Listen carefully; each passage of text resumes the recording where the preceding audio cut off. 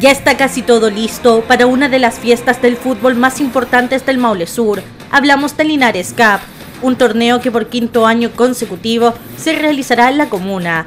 El éxito de este evento ha sido rotundo.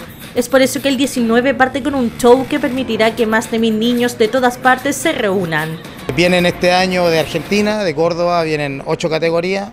De Arica vienen dos equipos, de Punta Arenas vienen tres equipos, más un equipo Puerto Natales de Yumbel, de San Javier, en fin, es una fiesta del fútbol de Concepción, es una fiesta del fútbol que reúne niños de todo el país, eso nos tiene muy contentos, no solo del país, sino que también del extranjero.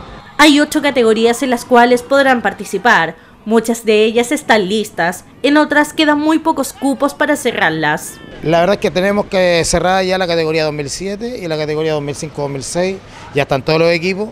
Eh, la categoría 2009 nos quedan dos cupos, en la categoría 2010 nos quedan tres cupos y en la categoría 2011 nos quedan seis cupos, que son los cupos que quedan hasta el momento, pero que ya se empiezan a cerrar con equipos que están por, que están por confirmar y, y equipos de la zona que siempre también participan.